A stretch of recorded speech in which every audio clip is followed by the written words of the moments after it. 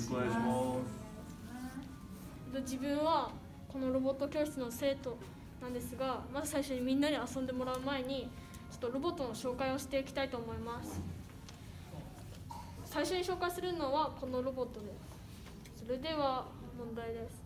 さっきこのご家族にも言ったんですはもう言ったんですがじゃあちょっと名前なんてじゃあ琴葉ちゃんじゃあこのロボットの名前を考えてみてください。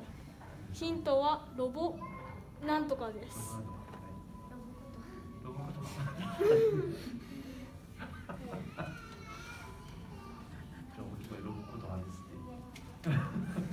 じゃあお父さんでもいいですよ、はいロボ太郎ロボ太郎か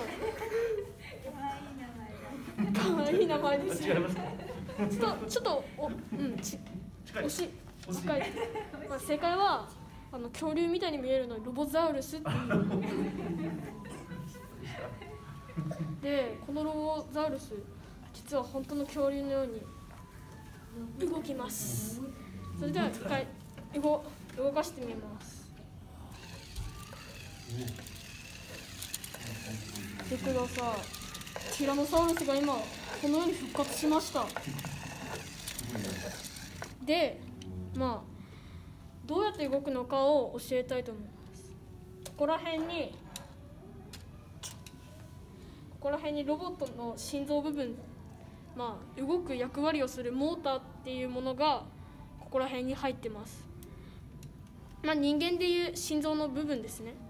でそれがこのここに入ってる電池とここのスイッチと連動してあとそれが動くことによってこことかに入ってるギアがどんどん回って回転します。でこのロボットの特徴は尻尾が動くそして手が動くそして足が動く口が動く。もう恐竜ですね。でじゃあみんな恐竜ちなみに皆さん恐竜知ってる人？はい。知ってる。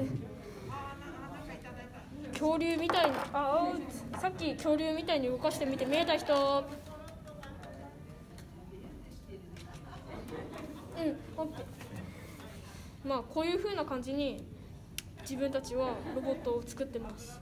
まず最初にロボザウルスでした。ありがとうございました。